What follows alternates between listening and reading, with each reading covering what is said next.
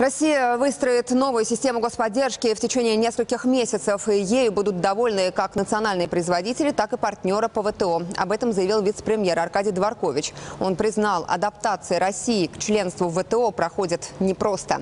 Накануне претензии к Москве высказали в ЕС, а в скором времени иски против России, вероятно, подадут Япония и США. Об этом пишет ДВ. Партнеры по ВТО недовольны российским утилизационным сбором на импорт иномарок коммерческого назначения.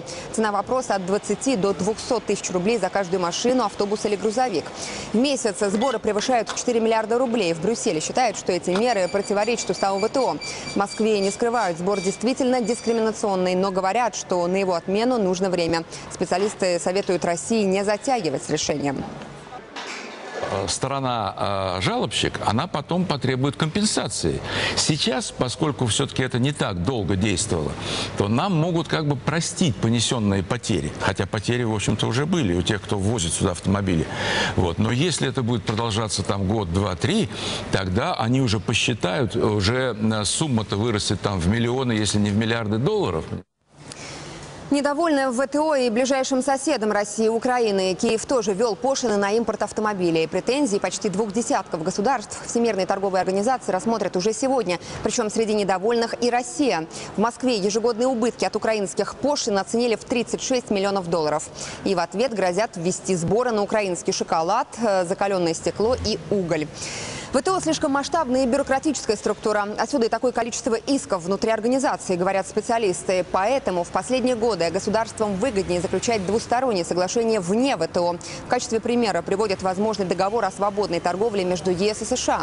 Переговоры по нему начались в понедельник. Стороны надеются, что без посредничества ВТО смогут решить проблемы, которые в Женеве обсуждают уже полтора десятка лет. О спорах э, ВТО мы поговорим с Ярославом Лисоволиком, главным экономистом Deutsche Bank в России. Он сейчас на прямой связи с нами в студии РБК ТВ в отеле «Арарат Хаят». Ярослав, э, добрый вечер. Ну скажите, зачем Россия вступала в ВТО, если сразу же начала нарушать условия членства в организации? Повлияет ли это на репутацию Москвы? Ну и скажется ли на дальнейшем членстве страны в организации? Я не думаю, что это скажется на членстве России в организации.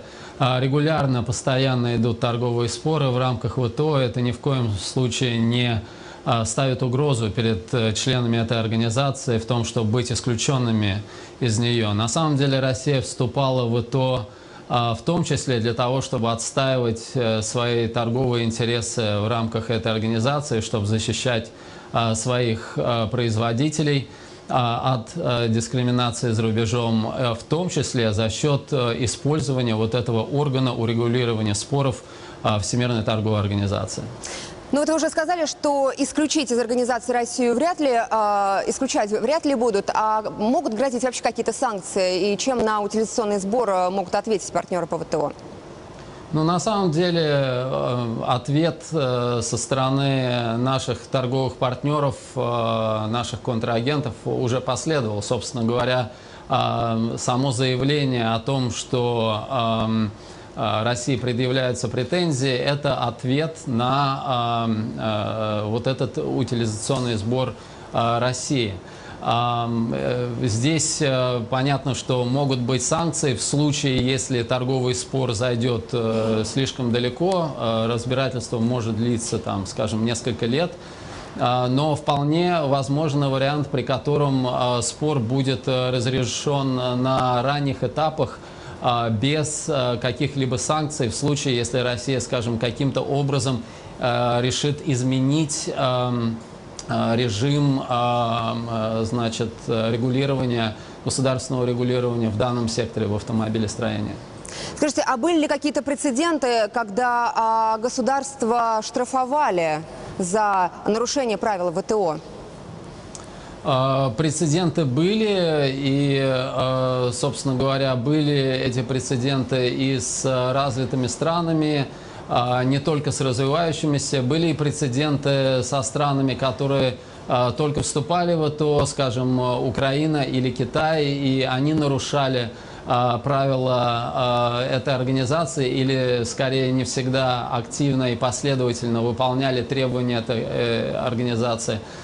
Поэтому, наверное, можно говорить о том, что в той или иной степени где-то нарушение или отклонение от правил ВТО есть э, практически у всех стран-членов этой организации. Соответственно, необходим такой механизм, как орган урегулирования спора, который бы на постоянной основе мог бы решать э, вот эти проблемы, которые постоянно возникают. Ярослав, а поясните, пожалуйста, вот государствам, а, согласитесь, проще быстрее договариваться в рамках а, двусторонних а, договоров. Сейчас же создаются региональные объединения, а, союзы. По большому счету сейчас получается, что ВТО это союз э, союзов, а не союз стран. Зачем вообще тогда ВТО? Объясните.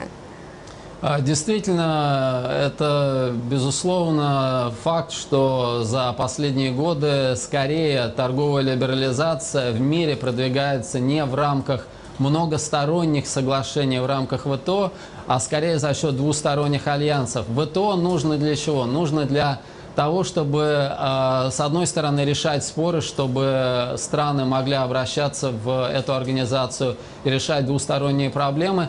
Ну и, собственно говоря, если все-таки э, мир идет по линии двусторонних отношений, двусторонних соглашений, больше вероятность э, торговых войн, торговых противостояний, и необходима многосторонняя организация, международная организация, которая могла бы э, решать вот эти проблемы на многостороннем уровне. Спасибо вам огромное. Это был Ярослав Лисоволик, главный экономист Deutsche Банка в России.